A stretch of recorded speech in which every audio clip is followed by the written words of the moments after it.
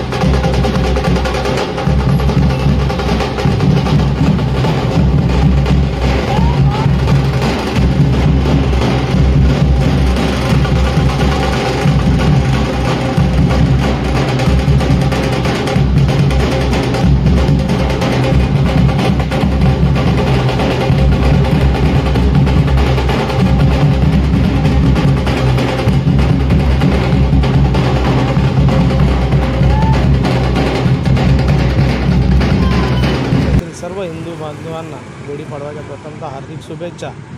गेली सात वर्ष सातत्याने आपला कट्टा व सेक्टर दहा रहिवासी मित्रमंडळ व प्रभागातील सर्व नागरिकांच्या वतीने गुढीपाडवानिमित्त शोभायात्रा सेक्टर दहा ते सेक्टर आठ रत्नागिरी सेवा मंडळ इथपर्यंत दरवर्षी जात असते.